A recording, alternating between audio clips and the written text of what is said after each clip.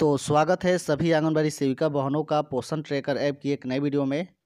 तो आज हम जो बताने वाले हैं, वो सभी सेविका बहनें ध्यान से सुन लीजिएगा।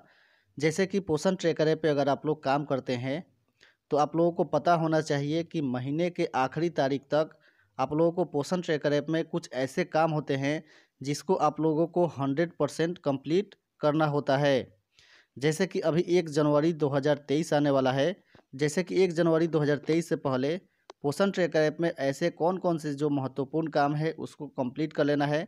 क्योंकि अभी 2023 में भी बहुत सारे नए नए अपडेट आने बाकी हैं।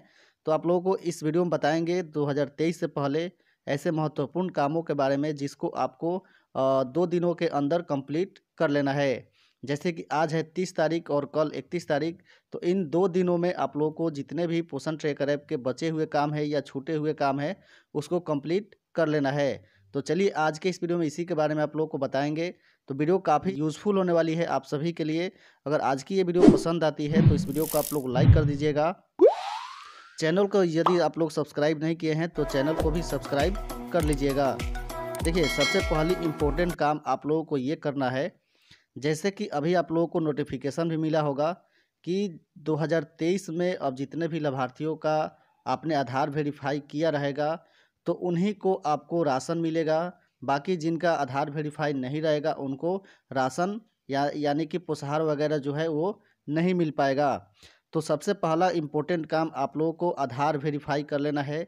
जितने भी छूटे हुए लाभार्थी हैं, उन सभी का न्यू रजिस्ट्रेशन करना है और उनका आधार वेरीफाई आपको कंप्लीट कर लेना है। ये जो काम है वो आपको हंड्रेड परसेंट कर लेना है, ठीक है? अब चलिए अगले स्टेप की ओर चलते हैं। अगला स्टेप जो है, यहाँ पे आप लोगों को क्या करना है, ये जो मोड वाला ऑप्शन आप लोग देख रहे हैं, इस ऑप्शन पे आप लोगों को क्लिक करना है और आ जाना है कहाँ पे आपको तो ये इवेंट वाले ऑप्शन में आप लोगों को आ जाना है। यहाँ पे लिखा हुआ है घटनाएँ तो इस ऑप्शन में आने के बाद दो ऐसे जो मॉड्यूल हैं इन दोनों मॉड्यूल में आप लोगों को ये जो काम है वो कंप्लीट कर लेना है। जैसे कि फ़र्स्ट में आपको यहाँ पे सीबीई कार्यक्रम के ऊपर लेके चलते हैं जो कम्युनिटी बेस्ड इवेंट का कार्यक्रम आप लोगों के आंगनबाड़ी केंद्र पे आयोजित की जाती है जैसे कि गोदभराई और अन्नप्राशन तो ये दोनों महत्वपूर्ण जो आ, काम बाकी है उसको आप लोगों को हंड्रेड परसेंट कंप्लीट कर लेना है। जैसे कि सबसे पहले आप लोगों को क्या करना है कि जो गोदभराई और अन्नप्राशन दिवस की एंट्री नहीं कर पाई हैं तो यहाँ पे आपको पहले हाँ पे क्लिक करना है। तो सात तारीख का डेट आप लोग डालेंगे। इसके बाद यहाँ पे आप लोगों को थीम चुन लेना है। तो जो पहला ऑप्शन है गोदभराई वाला इस पर क्लिक कर देना है और यहाँ पे आपको सबमिट कर देना है। ठीक है? जैसे कि मैं यहाँ पे सबमिट कर दे रहा हूँ। यहाँ पे जैसे ही सबमिट करेंगे तो आपका जो गुदभराई वाला इवेंट है वो यहाँ पे कंप्लीट हो जाएगा। और साथ ही साथ एक और बात आपको बताते चलें कि अगर आप लोग पोषण ट्रेकर ऐप में जो सीबीई वाला कार्यक्रम है, इसमें अगर आप लोग एक ही दिन में दोनों कार्यक्रम को ऐड करना चाहते हैं तो आप लोग यहाँ पे दोनों जो गतिविधि है वो ऐड नहीं कर पाएँगे। एक दिन में आप लोग एक ही जो गतिविधि है उसको यहाँ पे ऐड कर पाएँगे, चाहे वो गुदभराई दिवस हो या अन्नप्राशन दिवस हो। तो एक दिन में आप लोग एक गतिविधि को ऐड करें और दूसरे दिन दूसरी गतिविधि को ऐड कर सकते हैं। आप लोगों के पास मात्र दो ही दिन का समय बचा है। इस प्रकार से आप लोग यहाँ पे इसको ऐड कर सकते हैं। अभी यहाँ पे हमने इसको सबमिट किया है, लेकिन ये सही हो रहा है। बाद में आपका ये सबमिट हो जाएगा। आप लोग फिर से यहाँ पे आके देखेंगे तो आपका जो गुद भराई वाला इवेंट है, वो यहाँ पे सबमिट होके आ जाएगा। ठीक है? उसके बाद यहाँ से हम फिर से बैक आ जाते हैं। बैक आने के बाद फिर से हम यहाँ पे आएँगे घटनाएँ वाले ऑप्शन में। और यहाँ पे जो भी एच एस एन डी कार्यक्रम होता है, यानी जिस दिन आपके आंगनबाड़ी केंद्र पे टीकाकरण का डेट होता है, उस टीकाकरण की डेट को आपको यहाँ पे एंट्री करना काफ़ी इम्पोर्टेंट है। जैसे कि यहाँ पे आप लोगों को पता है क्या करना होता है, यहाँ पे हाँ वाले पे क्लिक करेंगे और यहाँ पे जिस दिन भी आप लोगों के केंद्र पे टीकाकरण हुआ है, उस दिन का डेट आपको यहाँ पे ऐड करके सबमिट कर देना है। तो चलिए मैंने यहाँ पे टीकाकरण का डेट डाल दिया है और यहाँ पे सुरक्षित करे वाले पे क्लिक करेंगे। तो यहाँ पे ये जो टीकाकरण का जो डेट है वो यहाँ पे सबमिट हो जाएगा। हालाँकि यहाँ पे ये सबमिट होने में टाइम ले रहा है, लेकिन यहाँ पे आप लोग बाद में आके चेक करेंगे। एसएनडी वाला कार्यक्रम है वो सबमिट हो जाएगा। ठीक है? उसके बाद चलिए चलते हैं अगले स्टेप की ओर। जैसे कि अगला स्टेप हमको क्या कंप्लीट करना है तो यहाँ पे हम लोग आ जाएँगे लाभार्थियों वाली कैटेगरी में। ठीक है, के बाद यहाँ पे जितने भी बच्चे हैं, ज़ीरो से लेकर छः वर्ष के, उन सभी बच्चों का जो ग्रोथ मॉनिटरिंग का काम आप लोगों ने नहीं किया होगा इस महीने, इस ग्रोथ मॉनिटरिंग के काम को भी आपको कंप्लीट कर लेना है।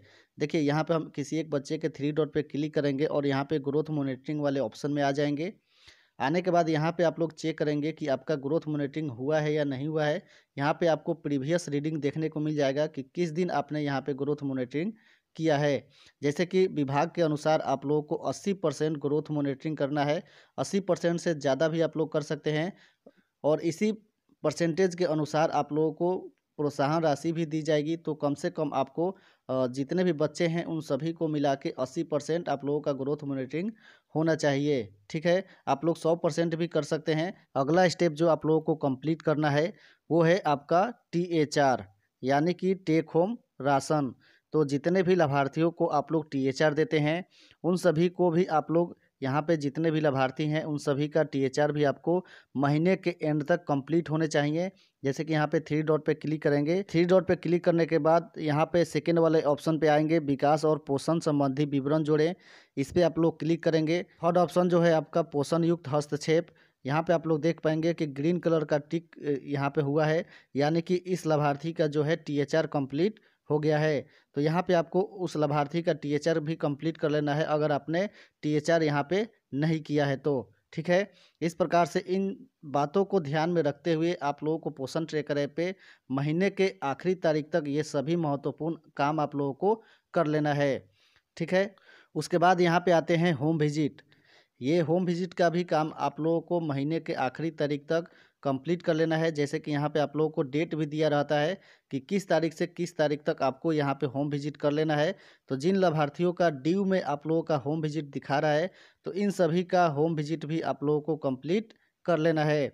यहाँ पे आपको मिस नहीं करना है। देखिए, यहाँ पे इस सेविका भवन का जो होम विज़िट है, वो एक भी मिस नहीं है। इस प्रकार से आप लोग को होम विज़िट टाइम से कर लेना है। तो इस प्रकार से आप सभी आंगनबाड़ी सेविकाओं को एक जनवरी 2023 से पहले जितने भी लाभार्थियों का काम पेंडिंग है, वो सभी काम आप लोगों को कंप्लीट कर लेना है। तो आई होप आप लोगों को आज की ये वीडियो पसंद आई होगी। अगर वीडियो पसंद आई हो तो वीडियो को लाइक करके सभी सेविका बहनों के साथ शेयर कीजिएगा। चैनल को यदि आप सब्सक्राइब नहीं किए हैं तो चैनल को भी सब्सक्राइब कर लीजिएगा, क्योंकि आगे भी आप लोगों को इस प्रकार से नए नए वीडियोस की जानकारी मिलती रहेगी। तो इस वीडियो में फ़िलहाल इतना ही। अगर वीडियो से रिलेटेड कोई कमेंट हो तो आप नीचे कमेंट कर सकते हैं। तो मिलते हैं फिर किसी नए टॉपिक, नई जानकारी के साथ। तब तक के लिए आप सभी का इस वीडियो में बने रहने के लिए बहुत बहुत धन्यवाद। जय हिंद।